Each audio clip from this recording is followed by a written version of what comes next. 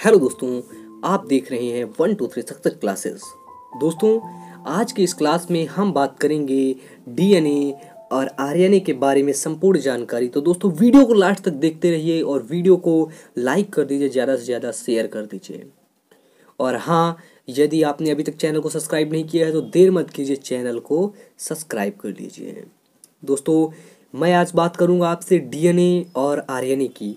और मैं आपसे एक सवाल पूछता हूँ कि आपको डीएनए के बारे में संपूर्ण जानकारी है या आरएनए के बारे में संपूर्ण जानकारी है? यदि है तो कमेंट कर दो यस अगर यदि नहीं है तो कमेंट कर दो नो डीएनए और आरएनए पर वीडियो जल्दी मैं आपको प्रोवाइड करवा दूँगा, अगर आप लोग बताओगे तो।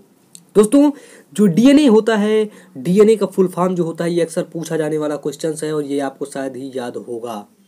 डीएनए का फुल फॉर्म होता है डीऑक्सी राइबोस न्यूक्लिक एसिड। क्या होता है? डीऑक्सी राइबोस न्यूक्लिक एसिड और राइ आरएनए का फुल फॉर्म होता है राइबोस न्यूक्लिक एसिड। ये हो गया। दोस्तों, जो डीएनए होता है और आरएनए होता है, ये एक जेनेटिक मटेरियल होता है जिसे हम अनुवांशिक पदार्थ कहते हैं। और हाँ ये तो दोस्तों आप लोगों को पता हो गया कि ये जेनेटिक मटेरियल है जेनेटिक पदार्थ है। अब आपको पता होना चाहिए ये किसका जेनेटिक पदार्थ है?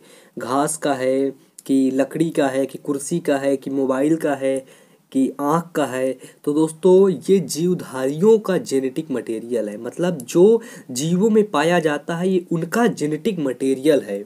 कौन? डीएनए और आरएनए और दोस्तों, जो ह्यूमन में डीएनए होता है, वो डबल हेलिकल स्ट्रक्चर उसका रहता है। कैसा हेलिकल डबल हेलिकल मतलब द्विकुंडली डीएनए आप लोग ऐसे डीएनए देखे होंगे। ये देखिए, ये हुआ डबल हेलिकल स्ट्रक्चर एक हेलिकल ये हुआ, एक ये तो ये बन गया आपका डबल हेलिकल स्ट्रक्चर अर्थात द्विकुंडलित डीएनए दोस्तों अब बात करेंगे हम। डीएनए हमारा डबल हेलिकल स्ट्रक्चर हो गया, अर्थात द्विकुंडलित। अब बात करेंगे जो ह्यूमन होता है ह्यूमन मनुष्य में डीएनए पाया जाता है। आरएनए एबसेंट होता है क्योंकि जिस मतलब अधिकतर जीवों में डीएनए या तो डीएनए पाया जाएगा या आरएनए में आरएनए एक जीव में दोनों चीज़ें बहुत रियर केस में पाई जाती हैं।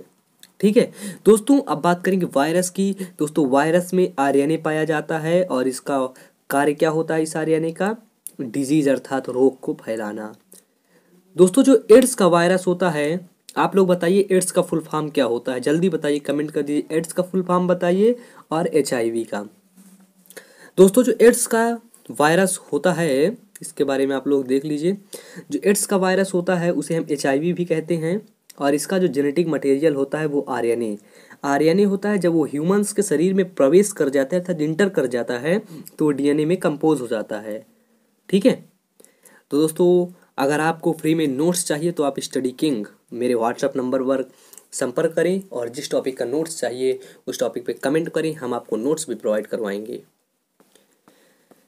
अब बात करेंगे हम डीएनए की और आरएनए की। दोस्तों, जो डीएनए होता है, वो स्टेबल होता है किससे?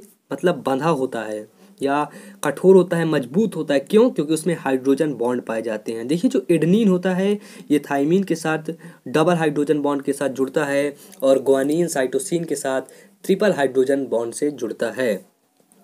दोस्तों, जो डीएनए होता है, वो निगेटिविटी चार्ज होता है निगेटिवली चार्ज होता है, अर्थात ऋणात्मक चार्ज होता है। ठीक है? क्योंकि ये फास्फोस्टर बंध से जुड़ा होता है। अब बात करते हैं आर्यने की। आर्यने दोस्तों अनस्टेबल होता है, क्योंकि आर्यने कुछ ऐसा ऐसा दिखाई देता है। और डीएनए आपका ऐसा ऐसा दिखाई देता है। ये डीएनए है और ये आर्यने है। ठीक है? आर्यने अनस्टेबल होता है एडनिन के साथ दुई और ग्वानिन के साथ तीन। एडनिन के साथ कितना? दुई। ग्वानिन के साथ तीन। देखिए आर्यने के टाइप्स आर्यने तीन प्रकार का होता है। R R N A M R N A और टी आर एन ए मतलब receiver R N messenger R N और ट्रांसफ़र आर एन अब बात करते हैं थोड़ा सा। आज ये नॉलेज की क्लास है, आप लोग नॉलेज लेते रहिए जहाँ तक है मेरा मानना है। और अपने नॉलेज को इनक्रीज इनक्रीज करते रहिए दोस्तों। बात करेंगे दोस्तों जीन की। दोस्तों जो जीन होता है अ सिगमेंट ऑफ़ डीएनए मतलब एक डीएनए का एक कण होता है। उसी को हम जीन कहते हैं। अब जैसे आप लोग देख रहे हैं, ऐसे डीएनए बना हुआ है, इसके अंदर एक कण होंगे ढेर सारे, उसी को हम जीन कहते हैं। दोस्तों, जो जीन होता है, उसको कंट्रोल करने के लिए क्या होता है? प्रोटीन सिंथेसिस एंड हेरिडिटी होता है, जिससे जीन कंट्रोल होता है। ठीक है, जिसको जीन जीन्स को हम कंट्रोल कर लेते हैं, इसी हिसाब से। दोस्तों, आप अपने नॉलेज को इंक्रीज करते रहिए। यदि आप खाना खाते हैं, यदि आप घूमने जाते हैं तो उस समय आप अपना टाइम वेस्ट मत कीजिए, उस टाइम को यूटिलाइज कीजिए। फिर मिलेंगे अगले वीडियो में, तब तक के लिए जय हिंद, जय भारत, वंदे मातरम।